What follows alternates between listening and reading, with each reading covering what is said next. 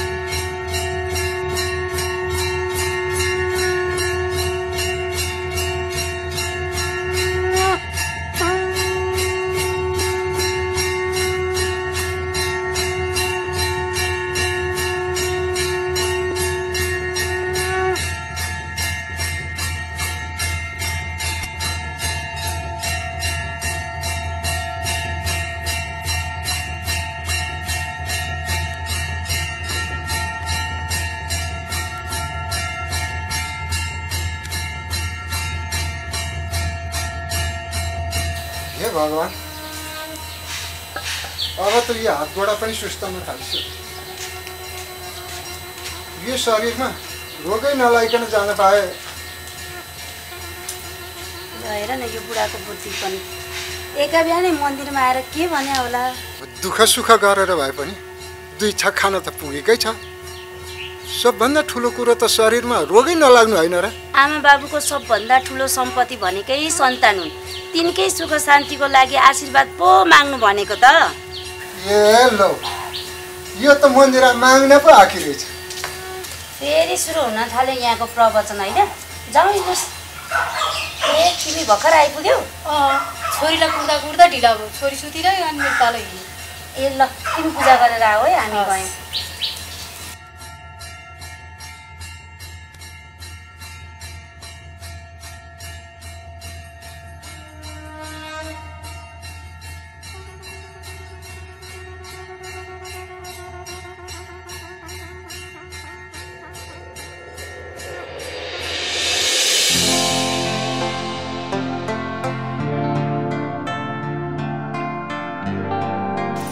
बुझिस नि त।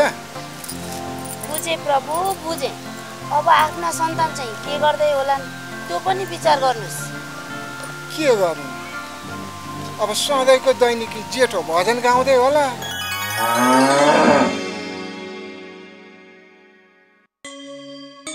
हे गौमाता हे आफ्ना शरीरमा विश्वधारिणी हे कामधेनु सधैँभरि दुध चाहिँ धेरै दिनु तर कहिलेकाहीँ यो पुच्छ रूपी हतियारले ड्याम ड्याम चाहिँ नदिनु है।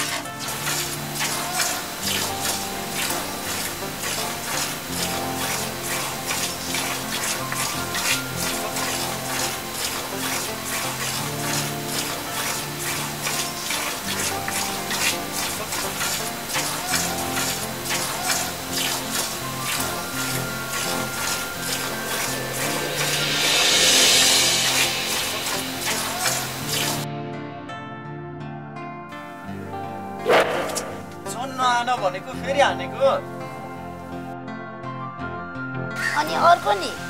ऊ पनि उस्तै दाइ जस्तै यो गाउँको ठेट्टामा बेजाय मेरो नाउँ आउँदा जाँदै गर्नु है सबैलाई राम राम। मायाले बाँधिएको छ भने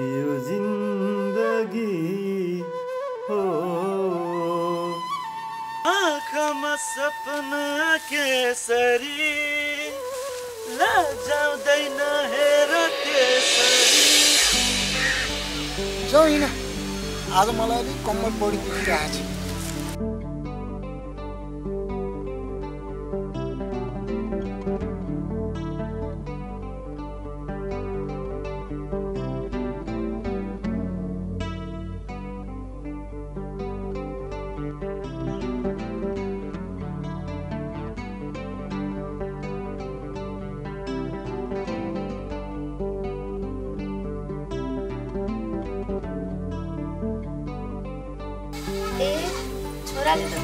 दुहेर ल्याइसकेछ त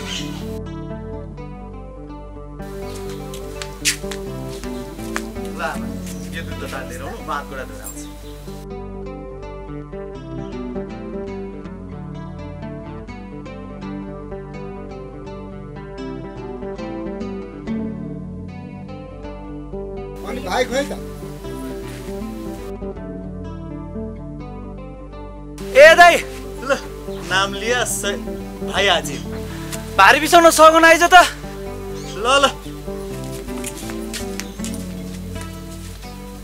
ल तिमीहरू दुवैजना हात गोडा धोएर आऊ है म तताउँदै गर्छु।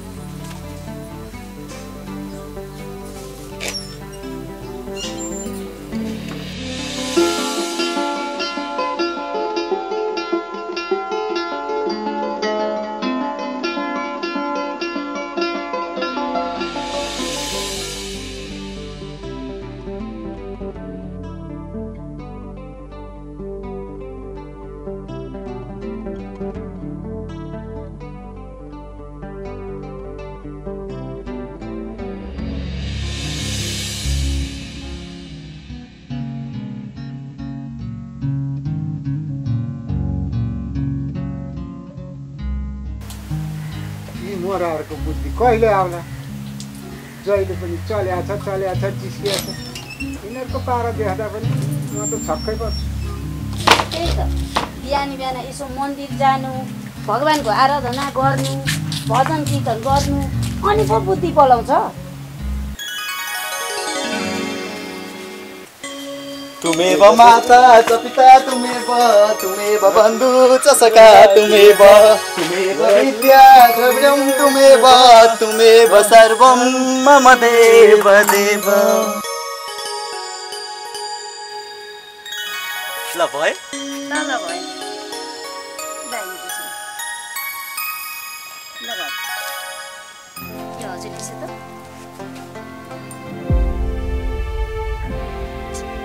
आमा पूजा त मैले पनि बराबर गरेको थिएँ नि। अनि भाइलाई चाहिँ धेरै दुध मलाई चाहिँ किन कम? यो मेरो कान्छो छोरा हो नि त। ए ऊ चाहिँ गणेश अनि म चाहिँ कुमार। जसले बढी चाकडी गर्छ उही प्यारो हुन्छ होइन?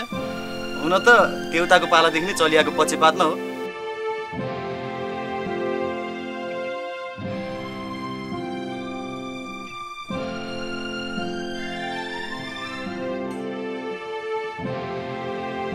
ओइ खाइसकिस् हालैछु एकछिन। ल भकाएर सोध्न। अब दुध चाहिँ त धेर खाने भकाएर त म एक्लै पक्कै सोधिदिनु। हिँड्न हिँड्नु सकिहाल्छु नि। भगाएर सोध्न पनि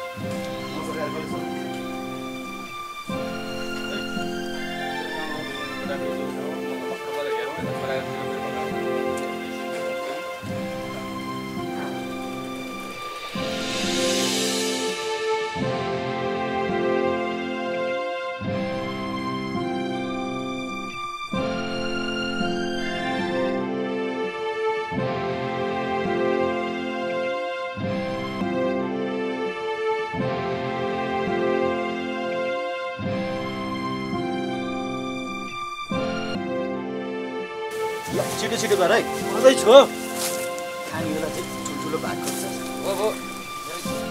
छिटो गर्ने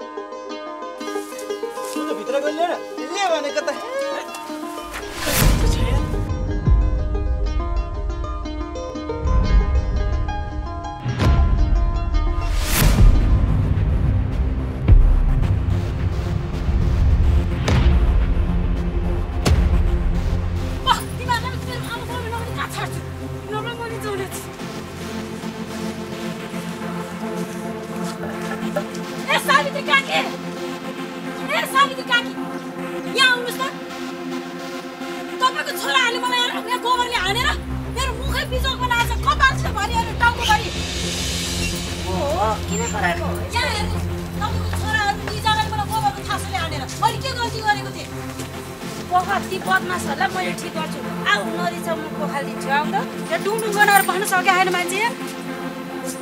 कानमा छिर्छ बिस्तारै गर्ने।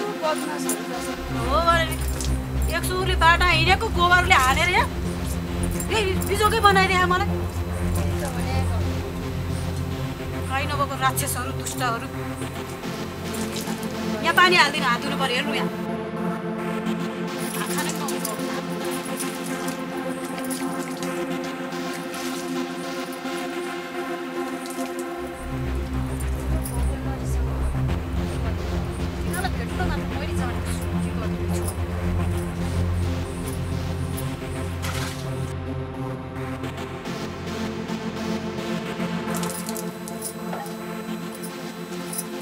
झन् कस्तो राम्रो शुभ समाचार लिएर थिएँ मैले? र? हो त। कस्तो हो त्यो शुभ समाचार? हिँड नि त बसेरै कुरा गर्नु?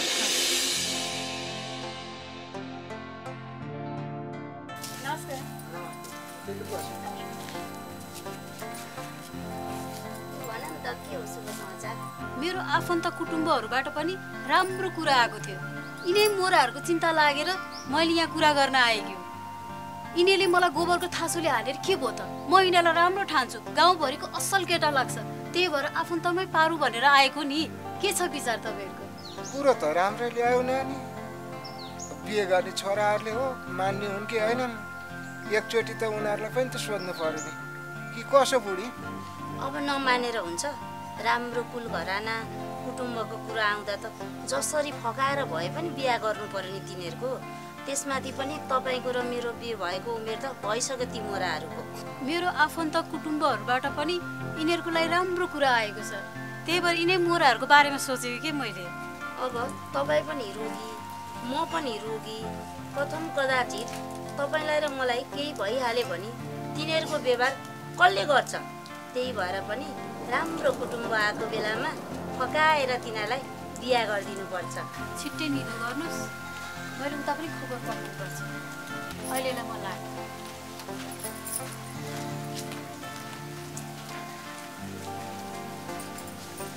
ल म पनि खाजा बनाउनु भयो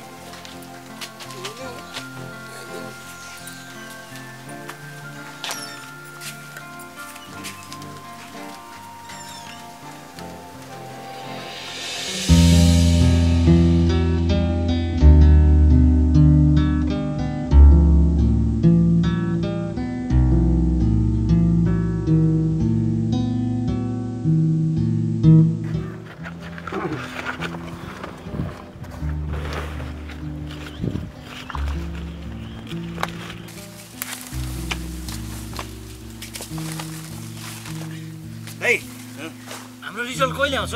रिजल्ट।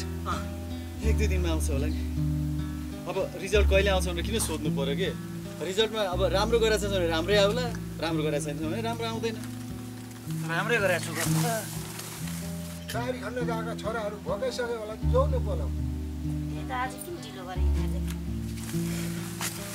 राम्रै आउला नि।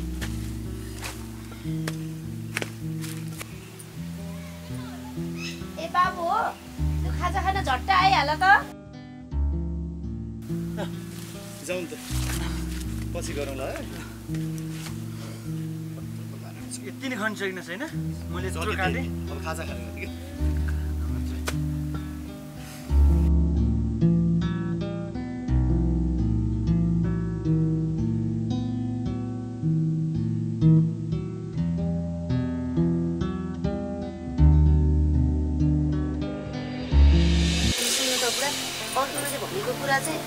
छोराहरूलाई सम्झाउनु नि राम्रो कुटुम्ब आएको बेलामा छोड्नु हुँदैन क्या सम्झाइ बुझाइ गर्नु है। टाकटुक पारिहाल्नुपर्छ किन भने म सम्झाइहाल्छु। तिनीहरू आउन त देऊ न खाजा पाक्यो अनि आज तिमीलाई भोक लागेन क्या? बोलाउनै जानु पर्यो।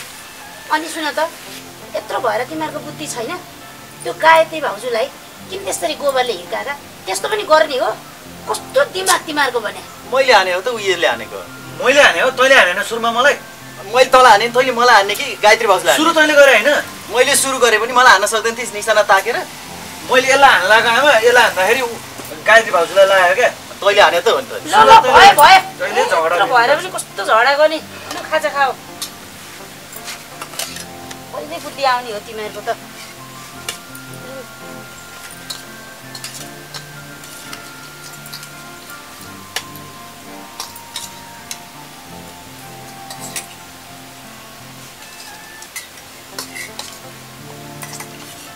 अनि ती गायत्री भाउजू तिमीहरूको बिहेको कुरा गर्न आएको रहेछन् अब तिमीहरू बिहे गर्छौ कि गर्दैनौ ल भने केटा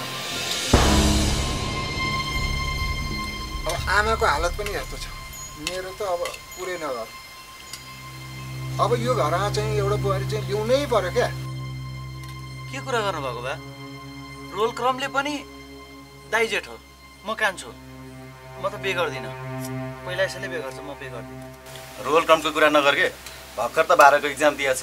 रिजल्ट आउनु पर्यो। रिजल्ट आएपछि राम्रो रिजल्ट भयो भने त्यही अनुसारको काम पाइएला काम गर्नु पर्यो। अब घरको हालत पनि यस्तो छ। बल्ल तल्ल हामीलाई खान पुगेको छ। अलि राम्रो कमाइ गरौँ। अनि त्यसपछि बिहेको कुरा गरौँला नि। अहिले कहाँ बिहे गर्ने के?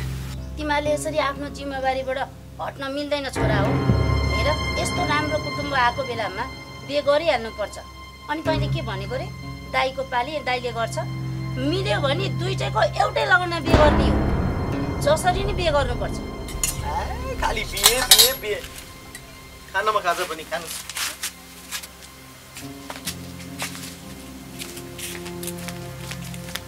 यसको त रिस पनि नाकट टुप्पोमै छ।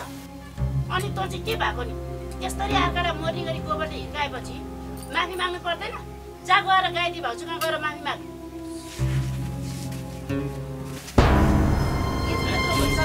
कस्तो दुःख दिइरहने होला। जति सम्झाए पनि सम्झिँदैन नि त केटाहरू होइन यिनीहरूलाई कहिले चाहिँ सम्झाउँदा सम्झेला नि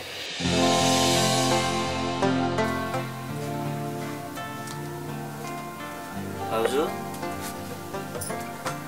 दाजुभाइ जिस्किँदै थियौँ जानी जानी भएकै होइन भाउजू दाइलाई जिस्केर हान्दाखेरि झुकेर तपाईँलाई लाग्यो एकचोटिलाई माफ गरिदिने भाउजू माफी त गर्छु तर जिस्किने पनि एउटा तरिका हुन्छ नि त। दाजुभाइ त आफ्नै तरिकाले जिस्किने नि त। बाटोमा हिँड्ने मान्छेलाई लाग्ने गरी त्यसरी गोबर फाल्ने हो। मेरो यहाँ कानभरि कपालभरि जताततै गोबरै गोबर। जानेर गरेको होइन भाउजू एकचोटिलाई माफ गरिदिनुहोस् न है। तपाईँले घर गएर बा आमालाई के के भनिदिनु भएको छ के के? भाइलाई र मलाई बिहा गर बिहा गर भनेर घरमा बसी टिक्नु छैन। बा आमाले तिम्रो दुई दाजुभाइकै एकै लगनमा बिहे गर्नुपर्छ भनेर कचकच गरेर हैरान छ। त्यति राम्रो कुटुम्बको कुरा ल्याएको छु खुर्क बिहा नगरेर के भाउ खोजेर बसिरह? हेर्नुहोस् देवर बाबु मैले त भनिदिएको छु काहीँ गलत गर्नुभयो भने म त झापड लाउँछु नि। मलाई त झापड लाउनु पुरा अधिकार छ। बाबुआमाले भने खुर्क मान खुर्क बिहा गरिहाल्नु कुटुम्ब जति राम्रो भए पनि हामी दाजुभाइ नै बिहा गर्ने पक्षमा छैनौँ। बा आमाले कर गरेर हुन्छ। उस्तै पऱ्यो भने घरै छोडेर हिँड्छौँ दाजुभाइ। कहिले काहीँ त लाग्छ। बा आमाले माया पनि गर्नु नौ महिना कुखमा राखेर जन्माएको आफ्नै सन्तानलाई पनि यति धेरै माया गरेको देखेको छैन। तर बाबु यी आमा बाबुले तपाईँलाई यति धेरै माया गर्नुहुन्छ। खै तपाईँले बुझ्नु भयो तपाईँलाई थाहा छैन बाबु? तपाईँ त दिनानाथ काका र सावित्री काकीको आफ्नै सन्तान होइन नि।